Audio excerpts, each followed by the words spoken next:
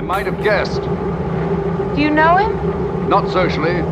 His name's Jaws. He kills people.